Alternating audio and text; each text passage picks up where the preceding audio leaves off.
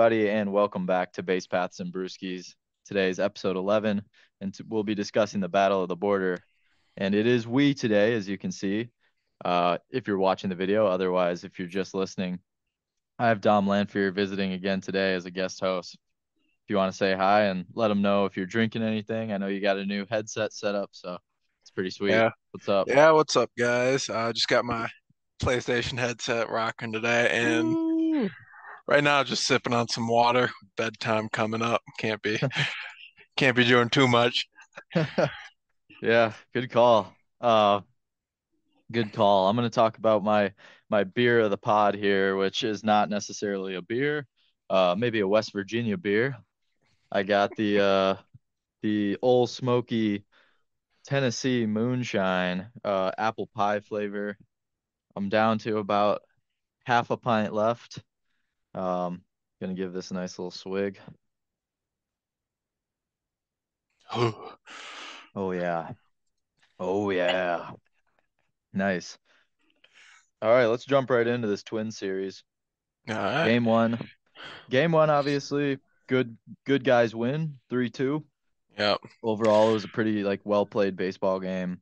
Uh, we can dive a little bit into the box score here as well. So, I mean, you had you had a lot of guys uh, getting on base for the Brewers, whether that was walks or hits. You know, seven hits, five walks. Uh, pitching was good. Good start from Junis. Uh, only four innings, and I think that was kind of a intentional thing. Uh, he was dealing with some uh, shoulder stuff, I believe, coming out of camp, so it wasn't he wasn't taken out after the fourth inning for any kind of performance reason. It had more to do with um, just uh, his his load management, his work management. So I don't know what did Yeah. what did you think of your first impressions of this game, Dom? I think came out hot. I'm trying to remember. This hmm was already yesterday. A game they had bases loaded in the or they had two on in the first or something like that, or the second Yep. inning. I'm trying to remember. Uh, put up three runs early, uh, but after that, it just kind of felt like they couldn't quite get anything else going. You know, I'd love to see more run production down the stretch, but I think overall it was a good home opener. Um, obviously, I'd love to see Junis go more than four, but with the shoulder stuff he's been dealing with, you know, I get Pat's wanna Pat wants to ease him into more uh, longer leash per se. Yeah. Yeah, yeah, I I agree with you there. I think, I mean, looking at the box score of the Twins pitching, uh, when you have Alcala and Jay Jackson coming in for four innings of work, I'm Mhm. hoping that we can score more than zero runs against them next time. Uh, Yeah, I mean, that was kind of disappointing. I know Alcala got hit somewhat hard in terms of base runners. He, I think he got out of like a bases loaded or or two on jam. yeah, Um, he he had uh he got he only had one hit on him, but he walked two guys. So I mean, he must have he, he was in some trouble at a point. Mhm. I'm trying to remember what that was, but yeah, they got no runs out of that, and that's Yeah. Yeah, and I mean a win's a win, so you'll take it in any, you know, shape, size, form, however it however it comes to you. But I think for me, the craft brew player of the game, uh, you can you can chime in if you have a different guy, but I went with Brice Turang. I think he's just off to such a hot start, and uh, he seems to really enjoy the home openers. Last year, he had the home run on uh, opening day in the in AmFam Field, and he had another great performance. Drew a walk, two hits. I think he had like two stolen bases. I want to say, putting him at like six for the season Yeah. and he was he's really helping in the run production area, which is not Mhm. what I really expected. That's not really his role on the team, but I certainly am. Uh, I'm open to getting you know an RBI a game from your eight hole player and a guy getting on base and swiping bags. So I don't know if you had a different craft brew player of the game. If you would like to maybe expand upon what you thought Brice Turang did, kind of gonna give you the floor here. Yeah, I think compared to last year, he's just swinging a lot better. Like it looks like he may be able to be a decent producer at the bottom half of the lineup. Um, I'd say he's probably my player of the game too. I mean, two hits and stolen base in a game that was pretty low scoring, I think was a huge thing for us was a huge run producer. Um, the only other player that I'd maybe consider giving player of the game to would maybe be Rhys Hoskins. That's just because he scored those two runs or two of those runs. But yeah, I'd say Brice Turang's a good pick. I mean, he he looks like a different player this year, honestly, so far. Yeah. Yeah, I agree. I think uh, I've heard from interviews that his swing, he's focusing on just going up the middle, fundamental swing. I mean, that's kind of what you're taught, uh, you know, right when you start playing the game, when you're hitting off the tee for the first time, is just try and hit it straight up the middle. And it, it looks like that's what he's trying to do. I mean, he's not, you know, he's not uh, swinging out of his shoes. That's not the type of player he is. So, I mean, he's putting bat to ball, and and good things will happen when that Yeah. when you're doing that. So, I mean, obviously, you'll have cold streaks if when you're not you know, a big power guy and, you know, you're hoping on just finding little gaps in the defense. But uh, as of now, I was really up to this point of the season, I was super happy to see what he was able to do. Such a good fielder as well. And I think the other main point I'd like to hit on is just how good our bullpen was, how dominating uh, it really seemed when when you get to the Milner, Payamps, Uribe. Uh, I mean, we don't even have Devin Williams, and that's a scary looking, you know, crew coming at you seven, eight, and nine.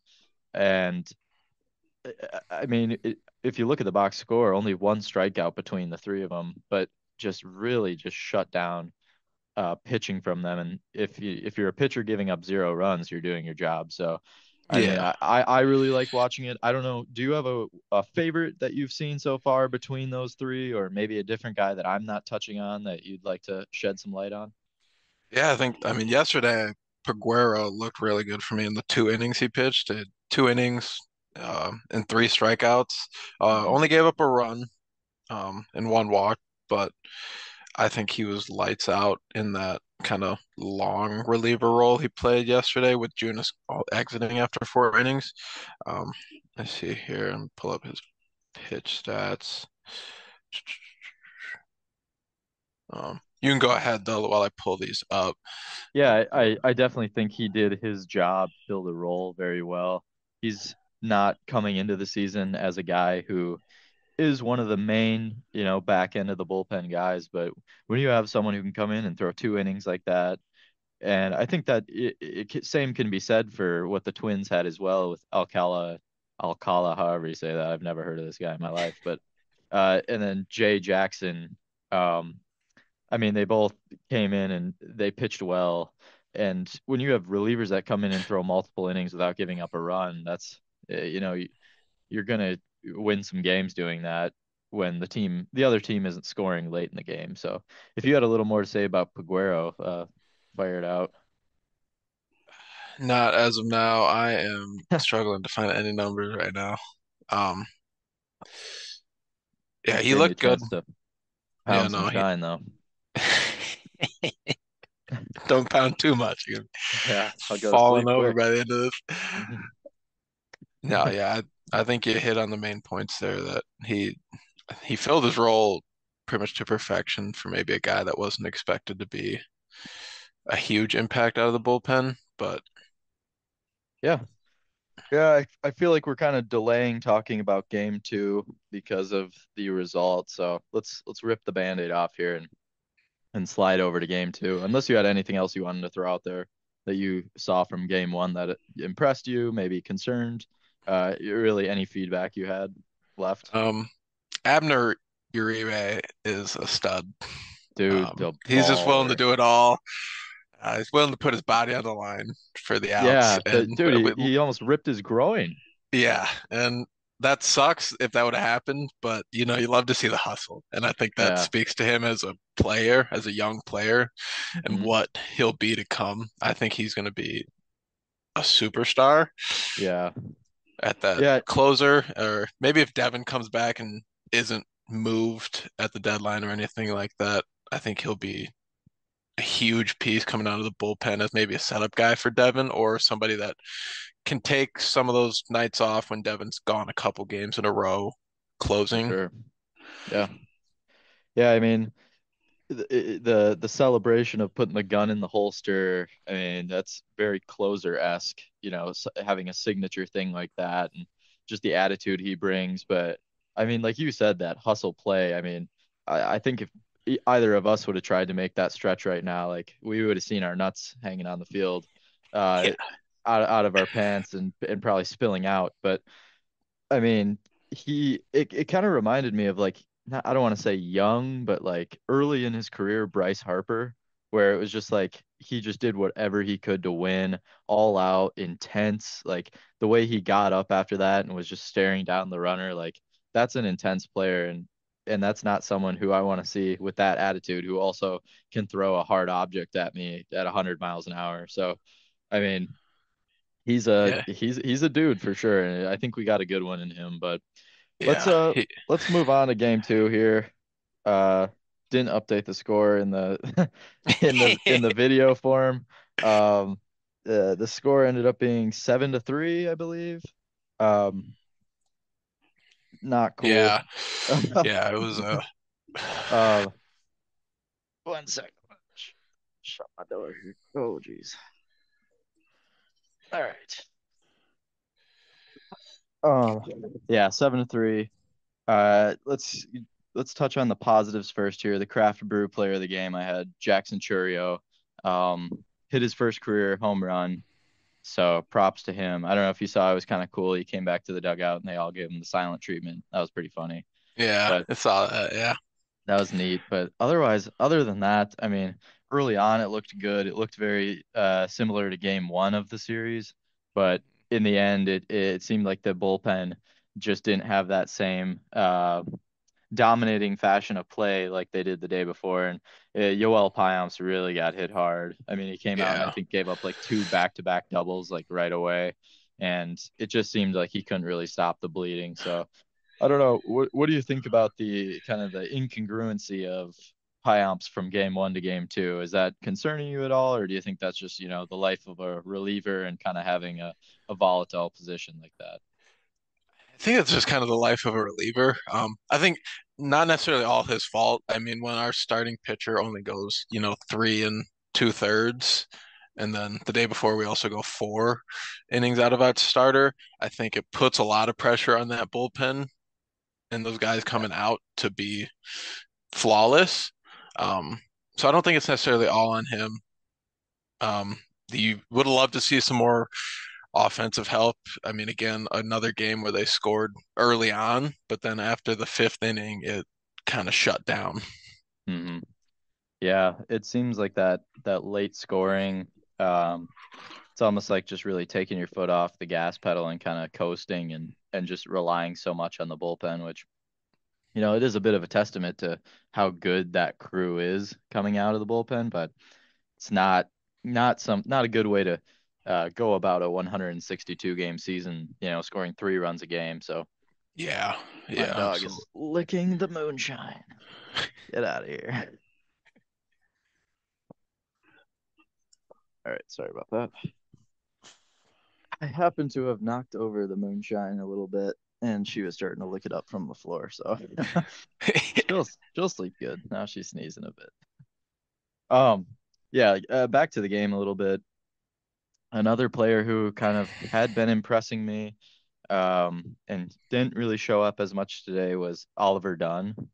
Uh, really good in the field. He had a really nice play in game one. I think he had a, his first career hit in game one, or that might have came in the Mets series, but he, Yeah, you know, he's he was off to a decent enough start, but he kind of slowed down this game and, you know, wasn't really that making that big of an impact, which coming in late in a game, it's hard to do, but he uh yeah. he he really didn't look too hot, but focusing on more of a positive as well. I mean, Sal Frelick put some put some balls in play, was able to get on base. I think he swiped a base or two, kind of that Turang style of play of uh, you know the 1900s ball where you just put the bat on the ball, get on base, and try and steal your way around the bases. So, uh, anything, any comments from you on you know, what the lineup did today? And uh, obviously, looking at the box score, there's a lot of uh, platooning today. So, you know, how do you think that fared for the the Brewers? I mean, honestly, if I was, from my perspective, it I would have nominated Sal Frelick for our player of the game in the game where not many people shined. It seemed like he just loves to hustle. He he beat out that um infield single right back to the pitcher early on that they challenged and ended up overturning that he was out. Um, you love to see that kind of hustle out of him. So that would have been my nominee for player of the game. I just think he's doing a lot of things right right now. And then hmm he had no hard hits off the bat, um, according to Baseball Savant, but I think those will come as he's doing the right stuff. He's got the right process when he goes up to bat. He's not chasing a lot of pitches. He's going up with a good mindset and he's taking what he gets. So, hmm um, other than that, I mean, bottom of the lineup, just overall, very poor production. I think looks like one hit out hmm of uh, the the bottom, like last. four guys, Yeah, I three at, guys. Yeah. At a point that just won't really cut it if we don't have anybody at the bottom that can consistently Yeah. hit. Um, but I think Brice Turang will end up being that guy. Probably just an off day for him. Yeah. Yeah, and I mean, uh, thing with Brice Turang and kind of a theme that I've noticed with some of the younger guys on the team, you know, your, your Frelicks, your Jackson Chourios, the most impressive thing is kind of their approach at the plate. It's a very patient approach.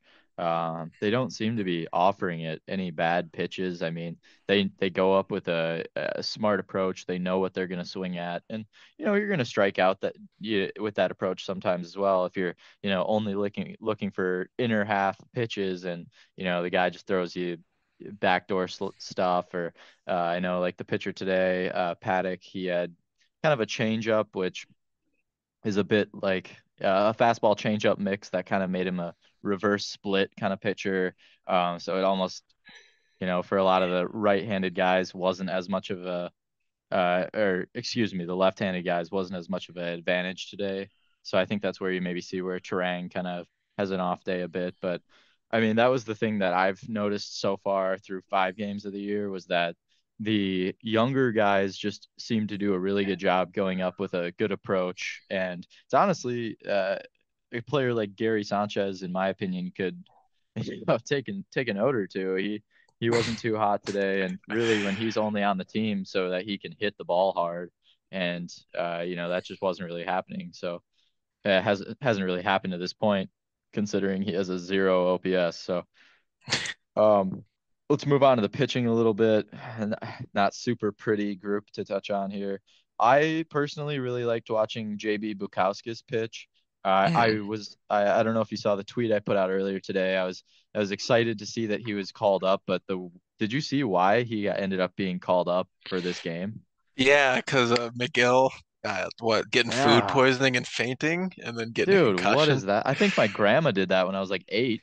I've never heard of anyone else doing that. it sounds like a Looney Tunes injury, to be Yeah, honest. It's like how does how does that happen? Dude, I was like, like I, I kind of just said it uh, on my Twitter or X. I was like, you know, I, I would love to see JB, but not in this fashion. Like, not, not uh, due to injury or you know, illness slash injury.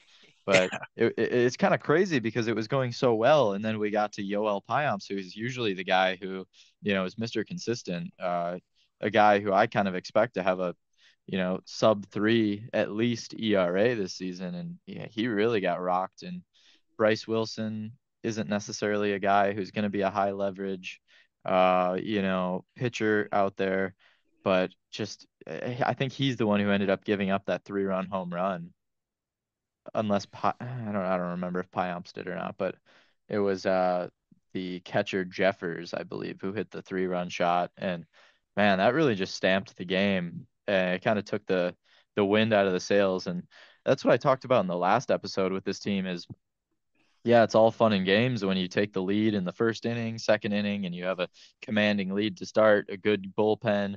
But you know, if you have a game where maybe your your front end bullpen guys, maybe the the guys who aren't seeing high leverage situations, and they're coming in, you know, you, you you can't really have close games where you're only scoring three runs. So I'd like to see how the team responds to adversity a little more because today there really was just no response. It was, you know they got punched in the mouth one time and kind of just went and sat down on the bench. So I don't know. What did you think about the the bullpen kind of I don't want to say selling the game because the offense certainly wasn't helping late, but uh, you know, did you kind of feel that same same mood with the team of just the you know the the wind getting out of the sails, the the air leaving the lungs. It really just seemed like a shot to the to the team.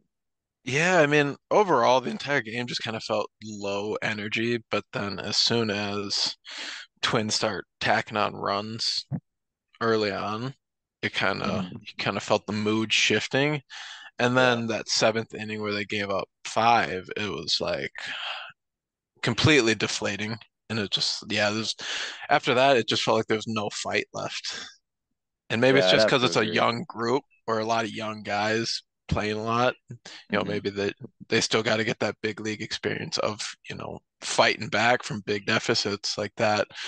Um, but yeah, overall, not necessarily concerning, but you don't love to see it.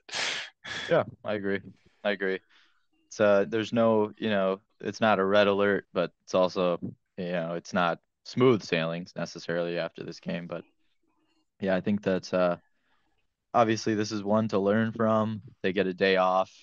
Uh, Friday night, Seattle's rolling in, so uh, that's a good ball club, and and it'll be exciting to see. I don't know who they'll be facing in terms of pitching, but I think Luis Castillo threw either yesterday or did today, so I don't think they will face him, which is nice. But that's a pretty solid team. They had a really good offseason, kind of underrated, so I'm excited to see what they can do there. But let's move on a little bit. Uh, my series awards. I'm gonna kind of list mine off. I'll I'll be a little brief about it, and I'll let you maybe fill out, you know, where you would have maybe done something differently.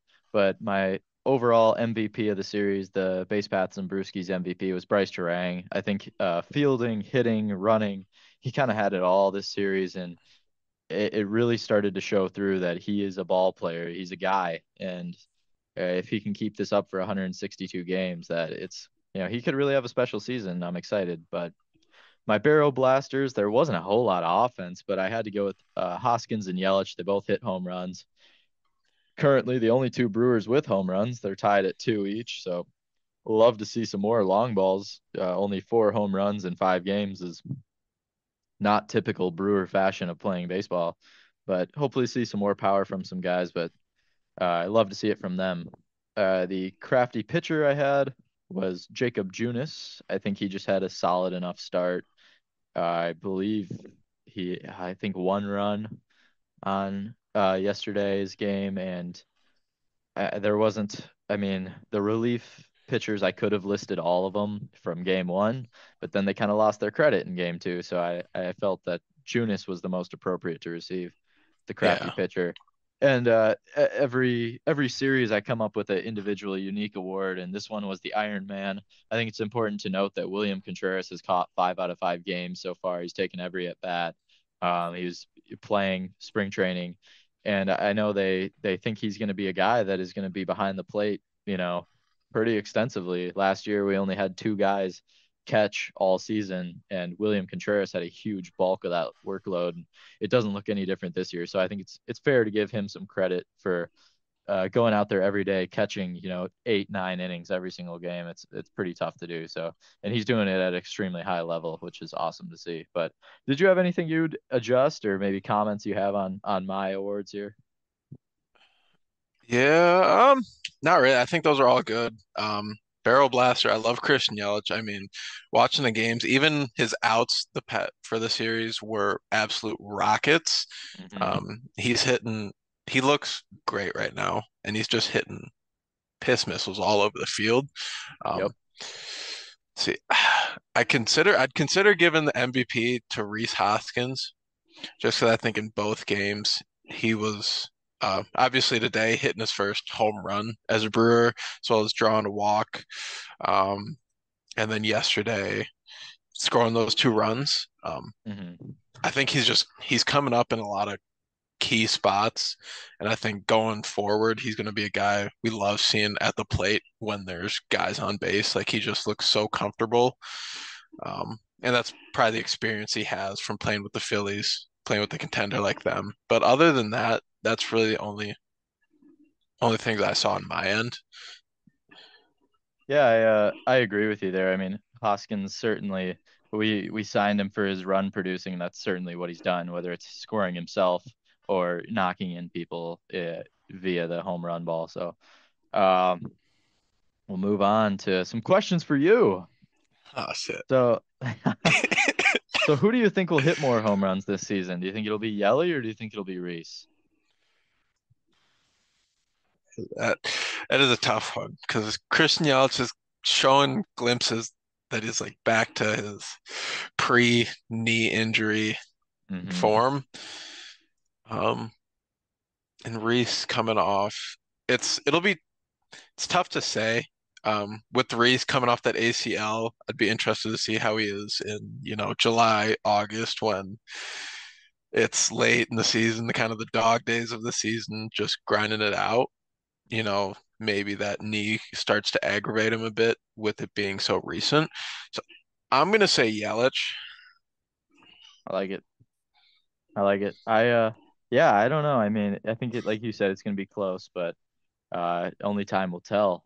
Uh do you think after these five games, that a lot of hype behind Brice Turang, do you think it's legit? Yeah, I think it is. I mean, looking at him at the plate now versus last year, he just looks a lot more comfortable and confident. And I think eventually that's going to lead to him raking. I mean, he's hitting balls hard all over the field, and he's uh that's wow.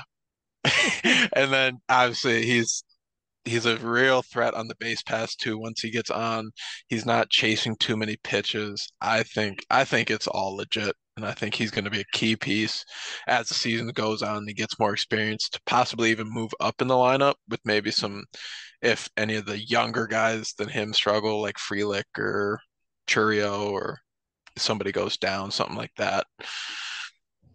Yeah, I, we're pretty parallel on our thinking there, and I think obviously sometimes it doesn't even get. Oh, I am running out of time. Uh, if I think his fielding fielding goes unmentioned as well sometimes just because of how good it is and how consistent. So Yeah. uh, I think that's important to mention. But uh, we'll kind of speed this up a bit here. Any quick thoughts on Pat Murphy at all? Um, just through a five game. I mean, he's kind of had a pretty consistent lineup uh, for righties and then, you know, uh, reverse splits and lefty guys. So are you liking that? Do you think the strategy's good? Uh, implementing some more bunting, stealing? What, what do you think? Yeah, I like him so far. I mean, it's nice to finally have a manager who gets lineups out a couple hours before the game instead of five minutes hmm before the game. Um, Yeah. I Yeah. like how he- I like the aggressiveness he's, he's had with the guys on the base path and bunting, kind of playing that small ball. Yeah. Um, so I like him so far. He also he just seems to be a guy that everybody in the dugout likes, and I think that's important when it gets later in the season. You know, once they start going through some slumps or whatnot, guys are going to respond to a manager that they actually vibe with instead of some robot.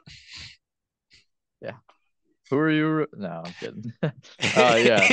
Yeah, I, I agree. I mean, I think I saw a picture comparing the press conferences of Pat Murphy and, and Craig Counsell, and the energy he brings is just, uh, it- it's a lot more confident. It's a lot more uh, baseball guy kind of feel, and not as, um, like you said, a little more robotic, a little more closed off.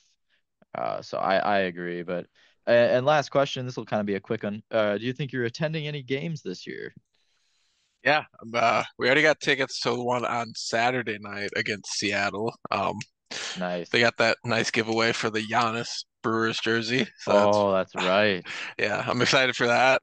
Um, and then probably my girlfriend goes to school in Milwaukee, so whenever there's a cheap game and we're in town for the weekend, I'll probably stop at a couple games just because that's what I love about baseball is, you know, I can get tickets 10 minutes before for like 30 bucks and Yep.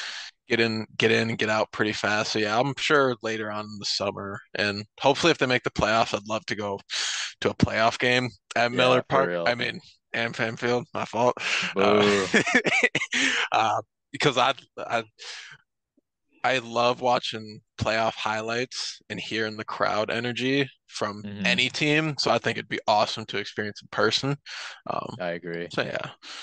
Yeah, I uh I think I'll be going to some too. I know my family was planning on going to some, and then I was kind of saving up in the Kwik Trip Rewards app, uh, getting some free tickets. So, but yeah, I mean, it is nice that it's like you can go get tickets on like SeatGeek or whatever for like 15 bucks if you want, and and just go hang out and watch a game if you're bored or around the area. So, yeah, we'll we'll definitely have to line something up. So we'll, we'll figure something out here, but.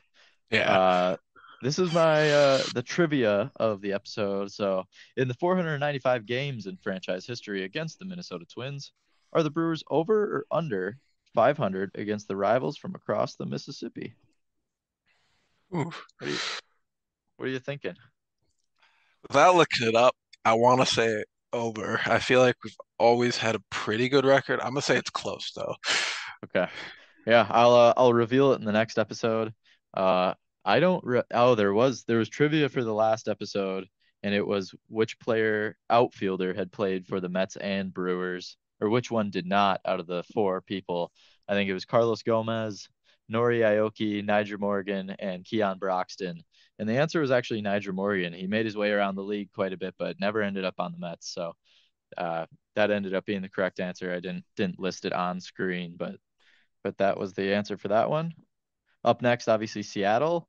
You'll be going to uh you'll be going to the game. I don't know if if they won today, if they're playing, so I kind of left the records blank, but obviously the Brewers will roll in with a 4 and 1 record, pretty solid and I think the Mariners have been doing all right. Uh they have a solid team, so I'm excited. I'm excited to see what you think about the the game in person and seeing that team up close, but Yeah. We'll wrap it up with our uh, B&B beer requests. If you have any beers you've been dying to try, if you have a go-to beer that I need to try, comment or reach out on any of the socials listed below with what I should drink next. I'm going to take one last sip of the moonshine here. I'm not going to finish it because that that would be quite insane if I drank half a pint of moonshine in one You would- sitting. So, Instantly slump over. all right, there's a the last sip. I'll say that sip is gone. This podcast is done. Dom, thanks for coming on. Hope to have you on a lot more. Um, Yeah, thanks for coming up, having me, brother. lining up some more. So, uh, thank you guys for listening